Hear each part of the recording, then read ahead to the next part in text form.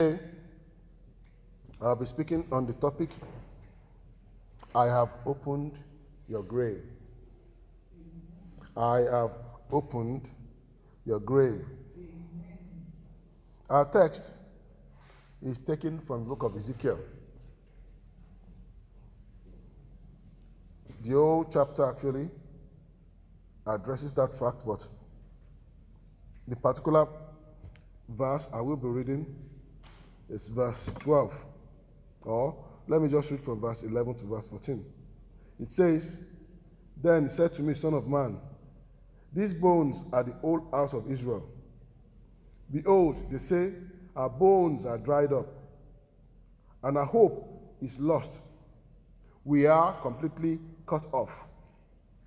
Therefore prophesy and say to them, Thus says the Lord God, Behold, I will open your graves and cause you to come up out of your, of, of your graves, O my people, and I will bring you back to the land of Israel. And you shall know that I am the Lord, your sovereign ruler, when I have opened your graves and caused you to come up out of the graves. And I shall put my spirit in and shall live in you, and I shall place you in your own land. Then you shall know, understand, and realize that I, the Lord, have spoken it and performed it, says the Lord. Ezekiel 37. Ezekiel 37.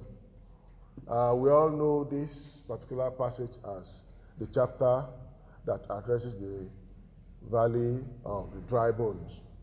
And uh, I think that story is very, very popular of God taking Ezekiel in the spirit and he took him to the valley of the dry bones. And he saw the dry bones, and God said, Walk through it, and he saw it. And God now said, uh, Can these bones live? And Ezekiel said, Lord, you know, because uh, these, these ones, they are past, they are past it. But God said, Can these bones live? And Ezekiel said, Lord, you know. Okay, and God said, All right, I want you to prophesy. Command the bones and the sinew, let them come together.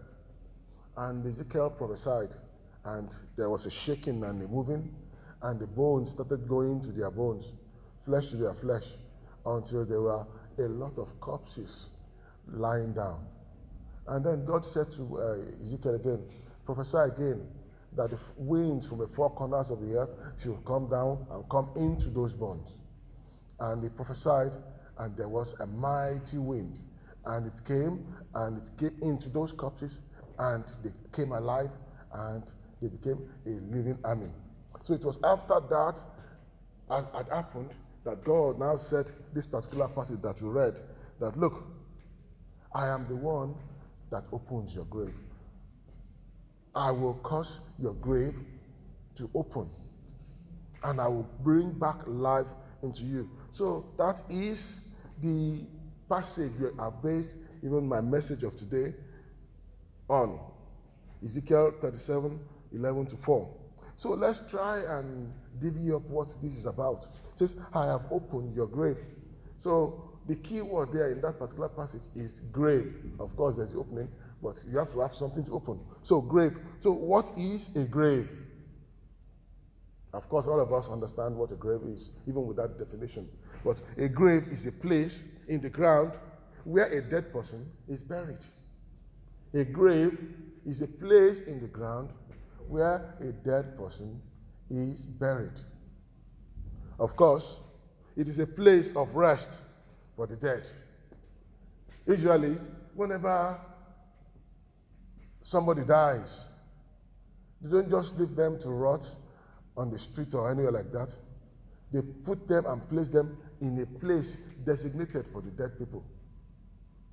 No, in the passage that we read, Ezekiel 37, you notice one thing that these bones were not buried.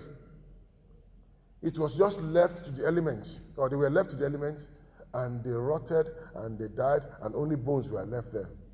So it meant that there was nobody to bury them. Everything that happened was so comprehensive, the defeat was total.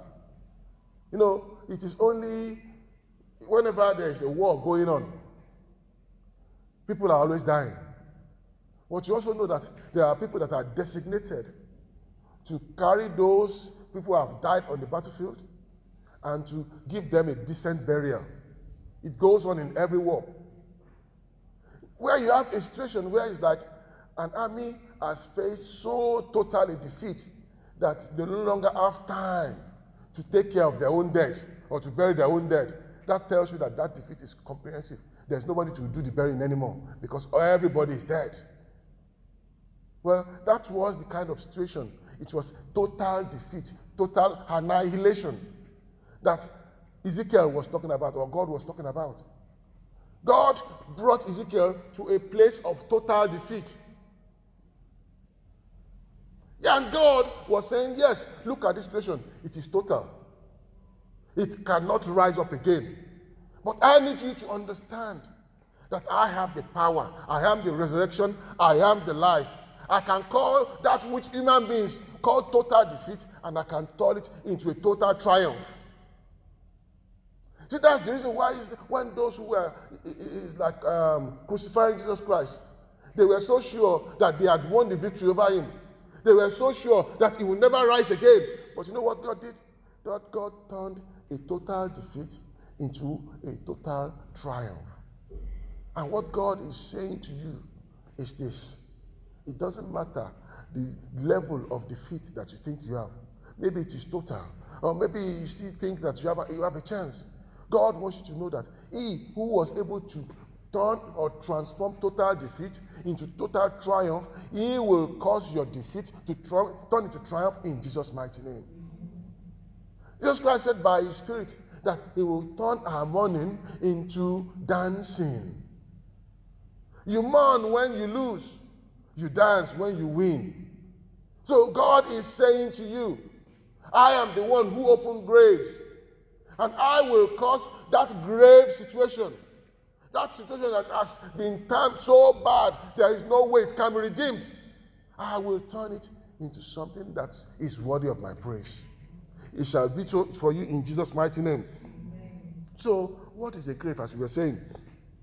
A grave can be a tomb, a grave can be uh, a burial place, a, a, a grave can be a cemetery, a grave can be a sepulchre, a grave can be uh, a crypt, a grave can be a graveyard, a grave can be a mausoleum, depending on the culture of the places.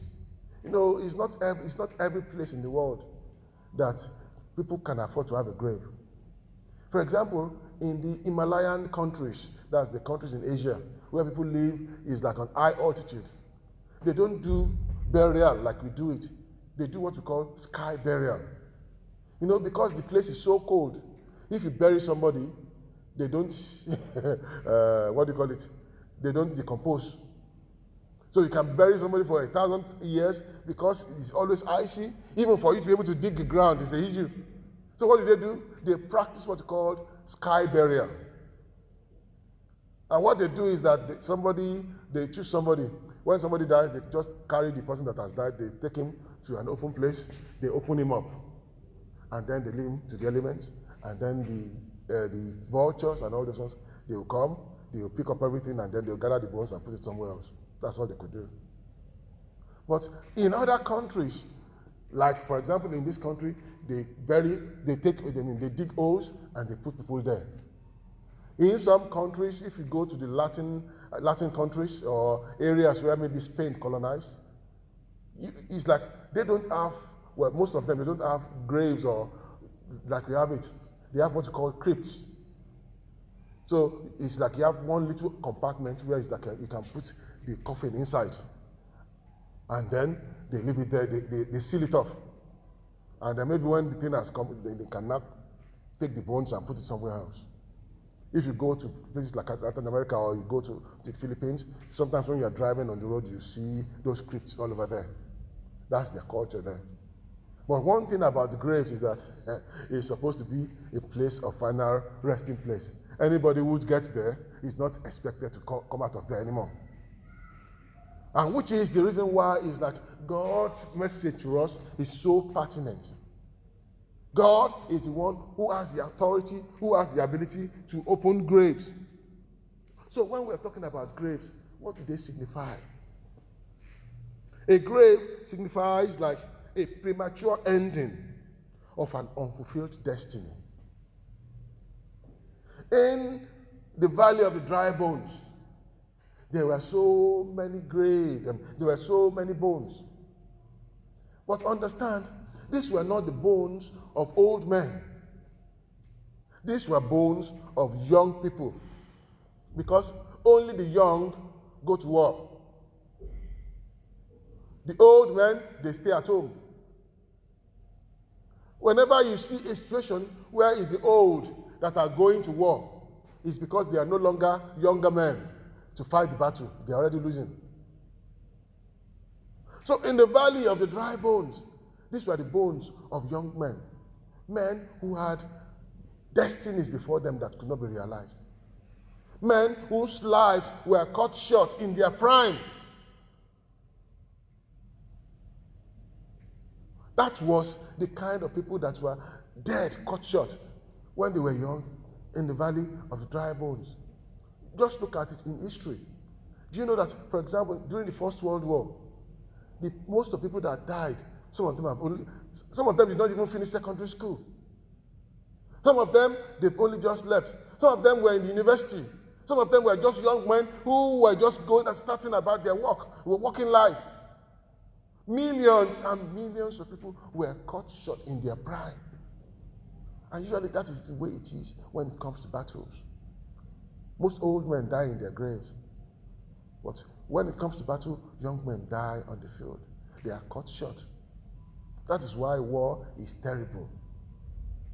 As somebody said, those who have experienced war, they don't just want to go into war anymore because they see just how bad it is. So, a grave represents a place of unfulfilled destiny.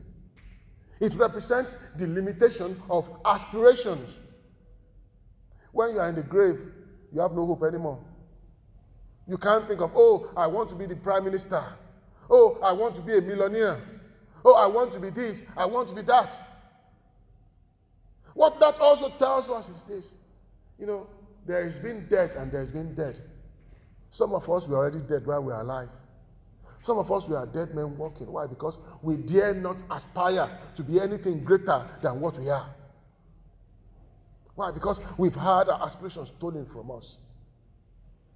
Some of us, we live in the grave, and though we move around, we have no aspirations anymore. Why? Because life has tortured us and has killed us and has destroyed us. Well, God is saying, Look, I am the one who opened graves. The fact that you are in that situation does not mean that you have to be there. You just trust in my resurrection power and you will see what I can do. Like the valley of the dry bones, the grave is a place of hopelessness, a, gra- a place of helplessness. You see, once you are there, that is it. it. You are done for. You can't escape. There is nothing, nothing more for you. And many people are experiencing that kind of situation where there is no escape. There is nobody that can help them. They are in that place that, and if God does not do anything, that is where they are going to die. You know, there are different kinds of situations where people can be in the grave and their life is gone. You remember the madman of Gadara?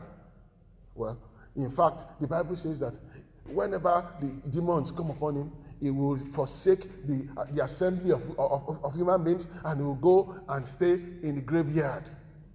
He prefers the fellowship of the graveyard than the fellowship of human beings. When you can't do what you want to do, or you have forces forcing you to do what you would rather not do, that is the life of the grave. And God is saying, I am the one who opens graves. I have opened your grave. That is the message that you need to take up take from today. He's not saying I will open the grave. He says, I have opened the grave. Why? Because Jesus Christ has been into the grave and he's come out. And his resurrection power is available to us. God has opened the grave, so we need to give glory to God and say, Lord, I bless you, oh Lord God, because the grave is not my portion anymore. The grave does not determine my destiny. You need to understand that for some of us, it's the grave that determines the narrative of our lives. Like these people, these bones, the last thing that was said about them, they went to war, they did not come back. If you are going to write in the annals of history, they will say, ah, they were victims of war. And that was how it ended. But you know what God is saying? By releasing his power to cause those graves to turn to living to turn to living quarters. God is saying, Your story has not ended. I am going to rewrite your story. Your history, your narrative is not going to be negative. It won't be that you are a victim, you will be a victor.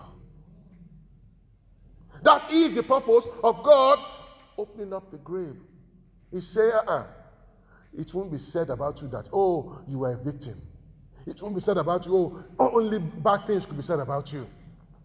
What will be said about you is what I have decreed concerning you. I'm going to give you the opportunity to live again. Your story is still being written. It hasn't, it is not been archived. You know, for some of some people, their story has been archived, and it's a bad story.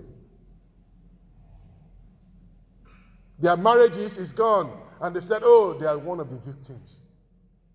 Their children have turned against the Lord, and they say, "Oh, they are victimized." You need to understand that because of the power of God, because He lives, we can face tomorrow. Because He lives, then we know that our grave is not our end. It's just a beginning, a new beginning. He said, Behold, I do a new thing. That new thing is turning graves into a place of life. He's turning our baka into beraka. Baka means mourning. Beraka means praise. Where is that it has been a place of mourning. God saying, I am turning it into a place of praise. So your story is being written. It hasn't been finished. Where the enemy is saying, Look, your, your story is finished. You are dead. You are buried. God is saying, ah, No, no, no, no, no, no. I've still got something up my sleeves. I'm going to cause you to rise up because I'm going to pour my spirit into you. And I'm going to cause you to rise up and be the champion, the victor that I made you to be. So, a grave is a place where there is no escape. But God says, I'm the one who makes a way where there is no way.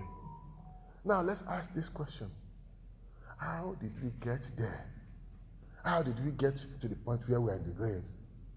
Because if God is going to open our graves, it must be because we are already in the grave. How do people get into graves? How is it that people's aspirations become buried? How is it that people become is like bound such that they are not able to freely express themselves or fulfill God's purpose concerning their lives? How do we get into this place? How did we get there? The first reason is sin. When we allow sin in our lives, we become captives. This particular story of Ezekiel referenced the captivity of the Israelites. God had told them, He had promised them, He had warned them, as long as you follow me, you will be dwelling safety in the land. But if you sin against me, the same thing that happened to those who before you dwelt in that land will happen to you. You will be taken into captivity. You will be destroyed. And that was what happened. They did not follow God as they ought to. They followed other, uh, uh, other, uh, other gods. So God forsook them. That was the reason why they were in the place of the grave. You need to understand that if you want to keep out of the grave, if you want to get yourself away from that place where the enemy can do whatever he wants to do with you, you must live a life that is without sin. And of course, it's difficult for us to live without sin in this world. But that's where the grace of God comes in. You must pursue holiness. You must pursue God. You must flee sin. You must hold on to God. That is how you avoid the grave. Because a grave, Bible says that the wages of sin is death.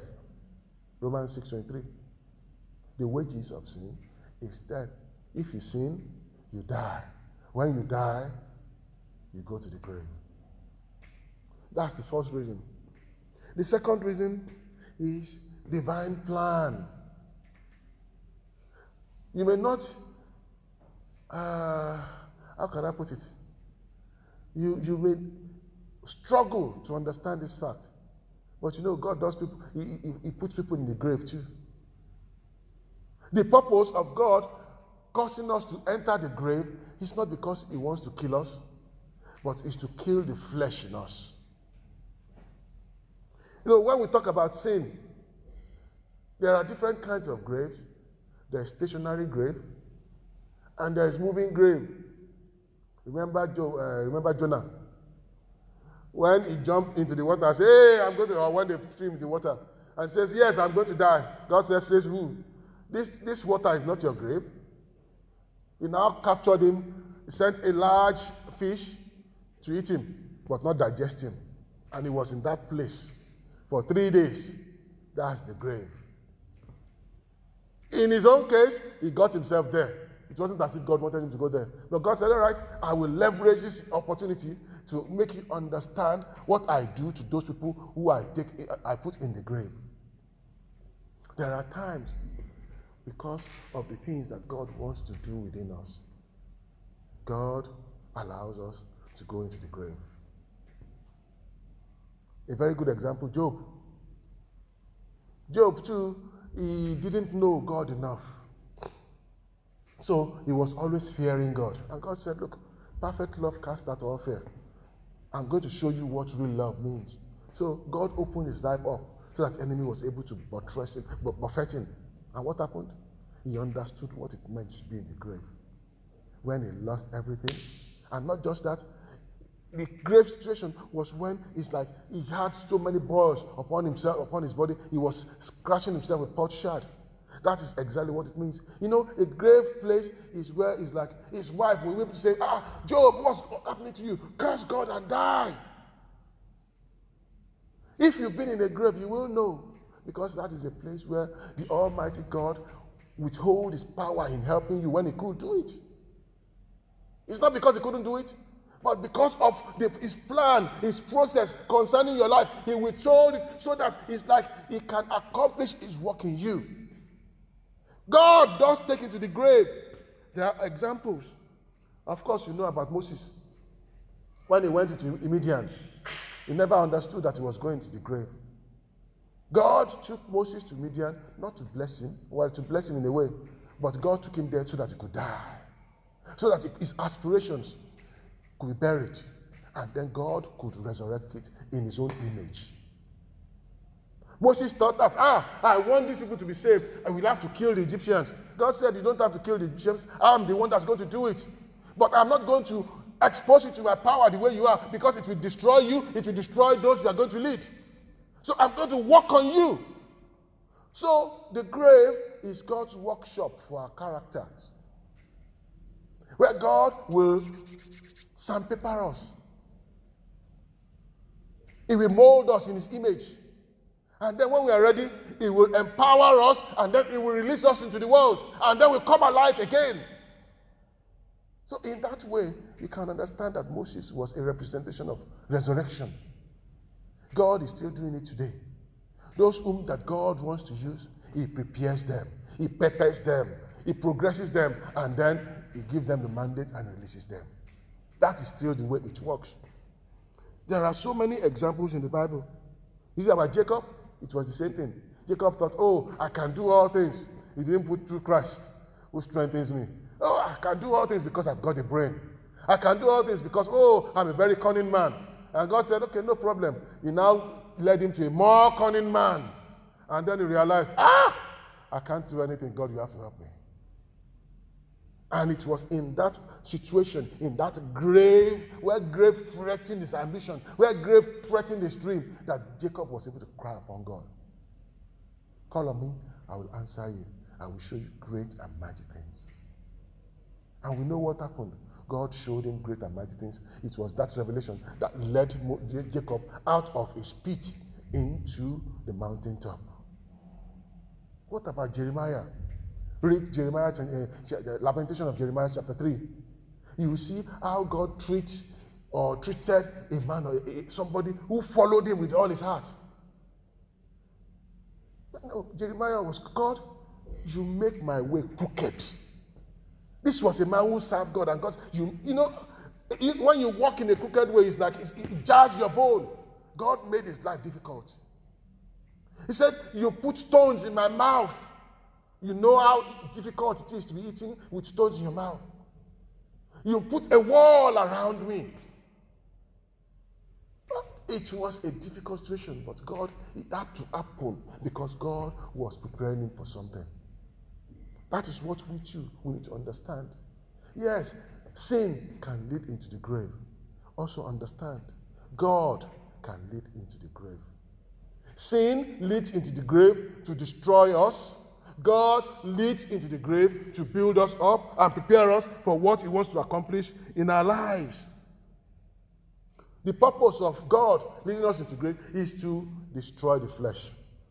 The third reason why we end up in the grave is when we have demonic interference in our lives. Or it is when we become victims of the works of the enemy. Like the story of the Gerasene demoniac. That man was in the graveyard. Why? Because he was filled with legions of demons. So we can be alive, but still in the grave. Why? Because the ministry of the enemy is prospering in our lives. But understand this. What God is saying is this whether it is because of sin that you are in the grave, whether it is God Himself that put you in the grave, whether it is because of demonic affliction and oppression that you are in the grave, God is proclaiming to you today, I have opened your grave. There is hope for a tree. For when it is cut off, when it's cut down, it will rise up again. God is saying, I've got hope for you. Whether you've been cut down, it doesn't matter. Because God is life. God can cause the dead to come to life. And He can cause the dead even to sprout wings. Remember the story of, uh, of Aaron? Where God caused his rod to bud. That was a miracle. Rods don't just bud by themselves. The rod is a dead stick. If it is dry, it won't come back to life again. God had to cause that rod to come back to life and then he caused it to grow. Not just that, it budded, it blossomed, and it, it, it fruited within 24 hours. God says, I will do the impossible if only you will trust me. I am the resurrection and the life. Now, because of time, let's just quickly go to the characters that you will deal with when you are in the grave.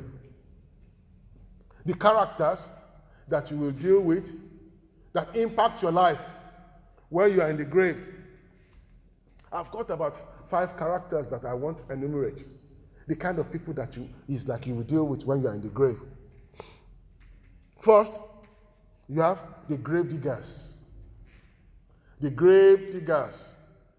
From their name, you know what they do. They dig graves for people. They look at you and they say, ah, they see the potential God has placed upon you. And they said, ah, over my dead body will you become that. Then they now start working against you. They are grave diggers. In the book of Proverbs 26, verse 27, Bible says that he who digs the grave or hole for others will himself fall into it. Proverbs 26, verse 27. He who digs the grave for others, he will fall into it. And he who rolls a stone so that others can be harmed, that stone will come over him. Grave diggers are those who want to cause you trouble just because, whatever reason, maybe they don't like you, they are jealous of you, they just hate you. Those are grave diggers. And the interesting thing is this God can employ them sometimes. They will dig a grave for you. And sometimes God can even allow you to fall into that grave. And you are wondering, God, I thought you were the one who protects me. Why is it that my grave diggers, they seem to be prospering? What God is saying is this even when He allows your grave digger to be seemingly successful, He's telling you today that He's going to get you out of that grave. But understand this there are grave diggers. Their purpose is to destroy your dream, to make sure you do not prosper. Also, there are grave robbers. You know what a grave robber is? You know, some people, when, when they die, maybe they are rich people because of the uh, belief that they had. Oh, when you are rich on earth, you take your riches to heaven. So they put a lot of precious things into those graves so that they can use it in the other world. we know that those things are not going anywhere. So those who see the opportunity, okay, you don't use it anymore. They go there, they break into the place, they rob the place. Who are grave robbers? Grave robbers are those, it's like when you are down, they jump into your grave and they start exploiting you. Rather than bring comfort to you, they go there and they stamp on you they put you down in every way. Whatever sense of self worth that you took with you into the grave, they make sure they rob you of it before you come out. These are the people who will give you cold comfort. Instead of helping you, instead of comforting you, they will say, Oh, let us pray. And then they will start putting blame upon you for your situation. Sometimes you don't even know what is going on. You are still trying to figure out what is even going on. They now put and come and put their own problem upon you. Those are grave robbers. Whenever I don't, whenever it's like you see people acting that way, you see, ah, these people are they are not comforters. You know, remember Job's comforters? They robbed him even of his self-esteem. Say, ah, you are at fault. It is, it's, it's, you are the one that's doing this for you. You are causing this for yourself. Those are grave robbers. Be mindful of them. What about grave disturbers? Who are the grave disturbers? They are those who they are not there. They didn't put you in the grave, but they want to exploit you when you are in that grave for their own advantage. You know that there are what you call archaeologists. Archaeologists, their job is to excavate places. Sometimes it's the grave of people that have died. They want to study it, they want to do this, but they are doing nothing for the person who has died. They can't bring that person out of their death situation. They still leave them in the grave or they move them somewhere else. But they are not doing it because of they want to bless the person there. They are doing it because they want to learn something. Imagine being invited, maybe it's like going to the hospital because it's like you have an issue. And they and they realize, oh, they can't help you. But they are so happy that you are there. Why? Because it's an opportunity to learn from you, to use your experience. Understand that, Tracy? to use your experience, to use your sickness, oh, to help humanity. They can't help you. You, want, you went there because you needed help. Those are grave disturbers. They won't even allow you to rest in peace. What about the other ones? The grave, um, let's see. Okay, I've got grave diggers, grave robbers, grave disturbers, um, let me see. I can't even see my own writing. So I'll continue. so we'll go to the last one. the grave openers. Understand this. Only God is the grave opener. How many people have died and have risen from the dead of their own volition? No, nobody. Only who God raises up rises up again. God is the one who opens the grave. When God opens your grave, nobody can put you back in there. When God sends his resurrection power into your grave, the grave will not be able to hold you back. They tried it with Jesus Christ. After he died, what they did was that they rolled a big stone. You are not going to come out. Eh? We've heard that you are going that you're, in three days. No way. Even if you die there, we, if, you rise up, we will make sure you can't escape. So you will die there. You die of hunger. You die of thirst. So they blocked it. Not just that. To make sure that it doesn't rise up, they put armies, guards, fierce Roman soldiers. They put them there. If he rises, kill him again. They don't understand that the resurrection power of God can't be killed. So when Jesus Christ rose, you know what happened? The angel came. Those who were supposed to be guarding him, preventing him from rising out, coming out, what, what happened? The Bible says that they were as dead men. They just froze. They can't do anything. Then the angel of God went and rolled the stone away. When God wants to get you out of your grave. He will send his angels or he will send people who will roll your stone away. And then he will decree, Lazarus, come forth. And the power of God will come into your life. It will raise you up from the dead. Not just that. When you now come out of the grave, God will say, Look, all those grave clothes that are around him is bound. Hmm. Lose him and let him go. Whenever God raises you from the grave, He doesn't keep you bound. He gives you total freedom. From total annihilation to total freedom. That is God's purpose for your life. That is God's plan for your life. And how can He do this? He can do it why? Because he says in John 11, verse 25, I am the resurrection and the life. He who believes in me, though he be dead, he shall rise again. Did you hear that? If you believe in God, though you are dead, though you are seem, seem like a permanent resident in the graves, says you will rise again. So all you need to do is to believe God. God, you are the resurrection, you are the life. I believe in you.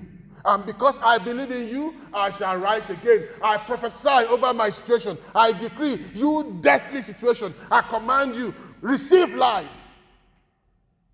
I command you total annihilation to become total victory in Jesus' mighty name. God wants everything to turn 180 degrees for you. You may be currently be heading towards total destruction. God says, I'm going to turn it around. You'll be heading towards total victory. Why? Because he said, I have opened the grave. That is why we are celebrating today. The fact that Jesus Christ has opened the grave. Understand this. He says, I have opened the grave. He didn't say, I will take you out of the grave. Do you notice that? Ezekiel, you know, it's not as if God could not have raised the dead bones himself. Why did he have to employ Ezekiel? It's because he wants to show us that there, we have responsibility for us walking out of the grave. When the power of God hit Lazarus in the grave, he didn't just sit down there in the grave. What did he do? He walked out. That was his own responsibility. And then people helped him to get those things off him. You know what you are going to do today? You are going to do your own aspect, fulfill your responsibility. How? By prophesying, by speaking forth over your life. Say, God, I receive your power into my life, your resurrection power. Lord God, I lay claim to it today. I prophesy over my life. I shall not die. I shall live to declare the works of God. Oh, I decree that I shall move, oh Lord God, to the glory of God. I reject every power to hold me in bondage. Oh Lord God, I shall move and I shall be all that you want me to be in Jesus' mighty name. Let us pray. I want you to start confessing upon yourself.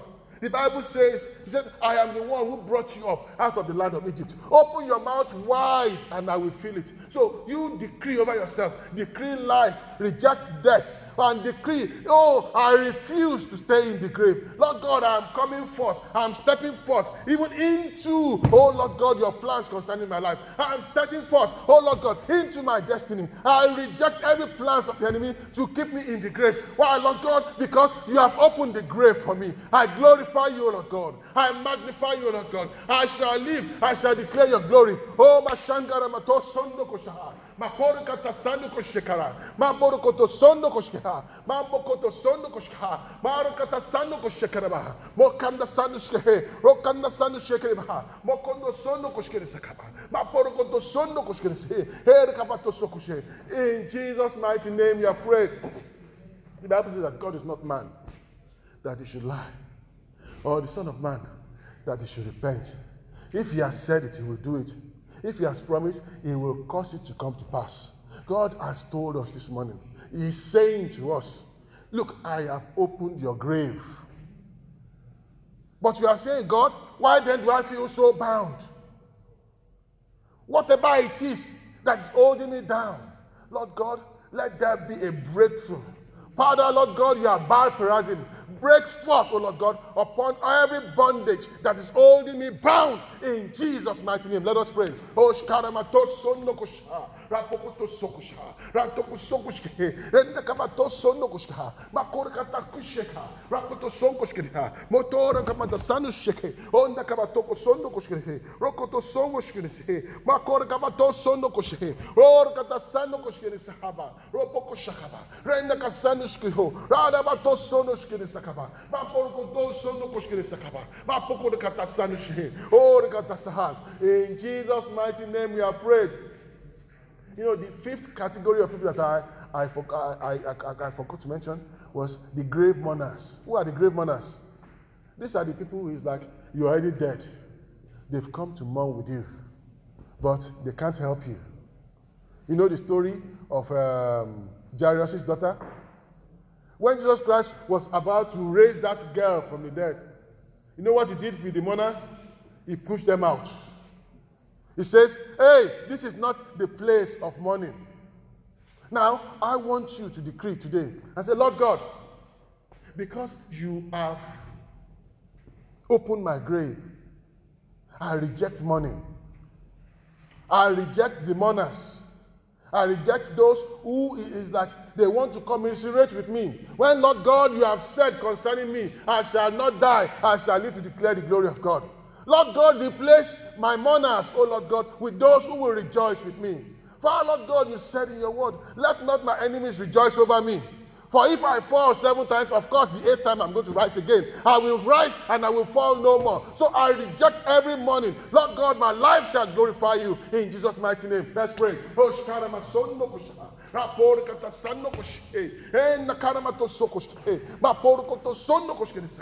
Rapor kata sanno koshke na karama to sokoshke ma por ko to sonno koshke ni sakpa ma por ka pa do sonno kosha ror kata sanno renda ka sanno koshke ha ma por ko renda sanno koshke ni sakaba. Ma por kata ka sa ma koshe karama to sonno koshke ni se e ra kata sa ma kuto ko sokoshke ha. Rato koshke ni ma in Jesus mighty name we have prayed. You know when God takes you from total defeat to total victory. You know what that means? The enemy will have no reason to mourn for you. The enemy will have no reason. It's like to, to say negative things against you. When God's revolutionary power comes upon you, your life will become a consistent testimony. So, Lord, just say, God, I receive, oh Lord God, my testimony this morning. I receive, oh Lord God, answers to my prayers.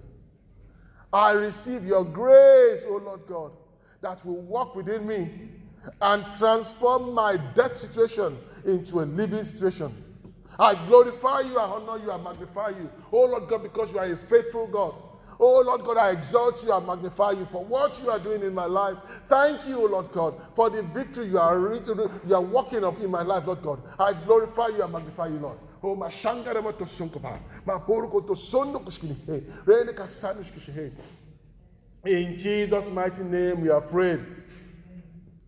Father, Lord God, you've broken the chain of death. Lord, you've opened the door of my grave. And you've commanded me to speak to that station. Come forth. Lord God, I command every situation in the life of your people that is seen as a foregone conclusion, a negative one. That, Lord God, let your resurrection power attack it right now and start turn it into something positive in Jesus' mighty name. Father, Lord God, where your people have been a subject of derision, Lord God, you will turn it into a testimony galore. Where, Lord God, your people have been covered in shame, oh Lord God, you will turn it into a time of rejoicing. Where your people have been like those bones in the valley. Father, Lord God, cause your power to turn their shame. Why, Lord God? Because they were in that valley because they had nobody to bury them. Lord, turn their shame into a reason for joy. Thank you, Father, God, because you've answered our prayers. We give you all the glory, we give you all the honor, and we give you all the praise. For in Jesus' mighty name, we are prayed. Amen.